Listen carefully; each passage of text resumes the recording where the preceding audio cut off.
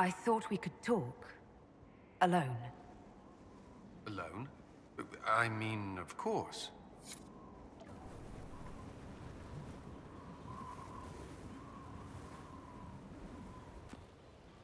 It's a nice day. What? It's... There was something you wished to discuss. I find myself thinking of you. More than... well... all the time, really. I can't say I haven't wondered what it would be like. What's stopping you? You're the Inquisitor. We're at war, and you... I didn't think it was possible.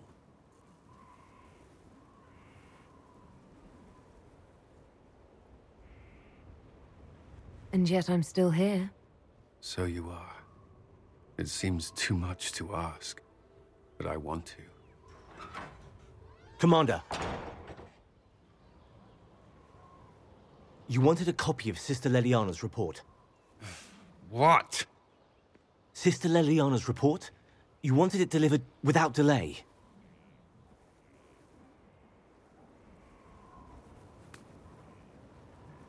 Or to your office. Right.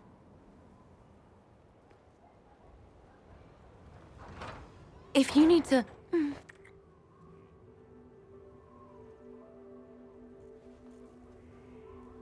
I'm sorry.